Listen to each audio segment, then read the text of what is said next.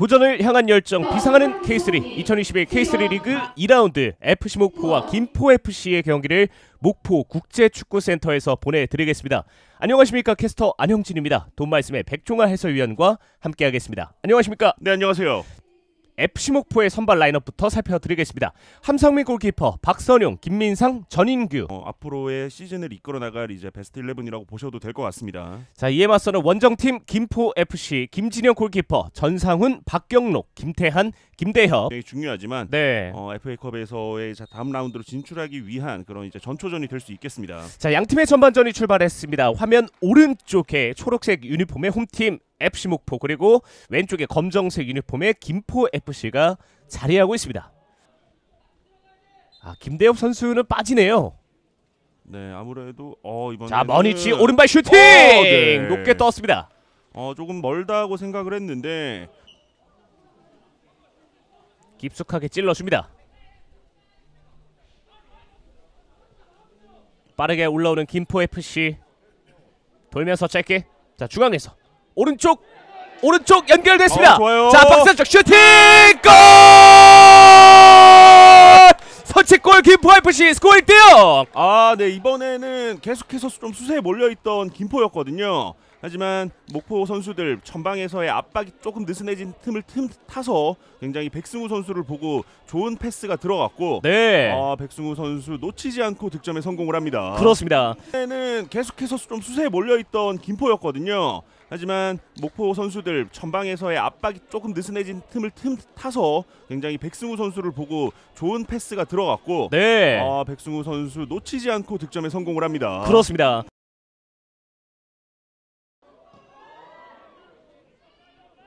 수비가 허락하지 않습니다. 아 중앙에서 볼 잡은 이후에 패스 툭 아, 찔러줬어요. 좋아요. 그리고 슈팅 슈팅! 막아냈습니다. 어. 함성민 super save. 네 이번에도 뒷공간을 노리는 한 번의 바- 단 하나의 킬러 패스가 네. 완벽한 찬스를 만들어줬던 김포였거든요.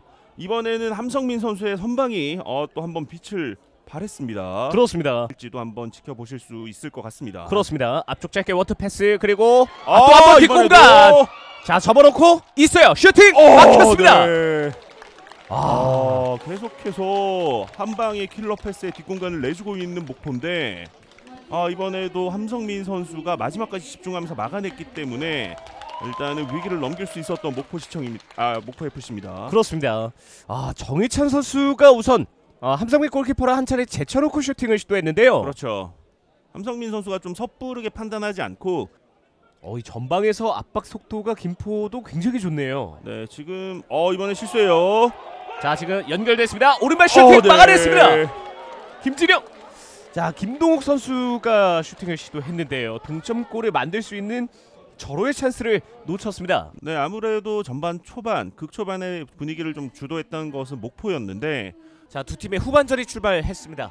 자 화면 왼쪽에 FC 목포, 화면 오른쪽에 김포 FC가 아, 자리하고 있습니다. 아 중앙에서 아, 뒷공간 좋아요. 있어요. 다시 슈팅! 한번 막아내네요.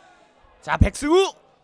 자 지금은 이 백승우 선수가 함성민 골키퍼가 나오는 것을 보고 넘기려고 했거든요. 그렇죠. 아 이번에도 뒷공간을 한 번에 허무는 저 스루 패스가 백승우 선수에게 연결이 됐고 네. 백승우 선수 저런 찬스 굉장히 속도가 있는 선수이기 때문에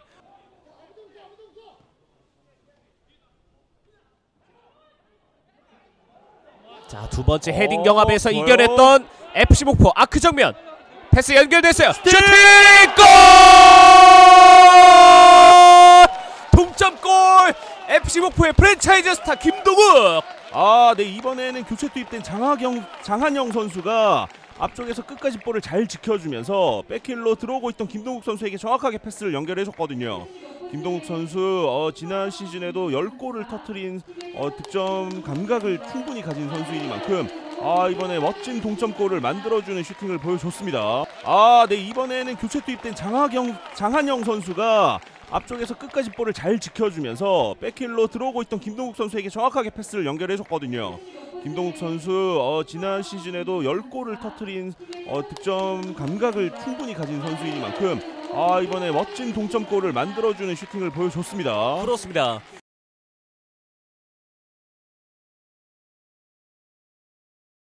가져갈 수 있는 목포예요. 자 김동욱 선수는 그대로 올려라 네. 하는 제스처를 보여주었습니다. 높게 떴습니다. 아 잡지 못했어요 어, 슈팅 네. 막혔습니다. 아 지금 손에 맞지 않았냐 강하게 어필하고 있는데요. 그렇죠. 일단은 손에 맞은 부분에 대해서는 확인한 것으로 보이는데 네. 그 부분이 이제 핸드볼로 파울로 인정이 될 수 있느냐에 대한 부분을 이제 주심은 핸드볼이 아니다라고 판정을 한 것으로 보입니다. 그렇습니다. 네, 어필하는 과정에서의 문제였을까요? 아니면 이제 뭐 페널티킥에 대한 부분이었을까요? 어떤 대화를 나눴는지 알지는 화- 아직 확인이 되고 있진 않은데 네. 아무래도 어필 과정에서의 문제였던 것 같아요. 네. 자 김동욱 선수에게 지금 경고 카드가 나오는 것 같은데요. 자 김동욱 선수가 카드를 받았습니다.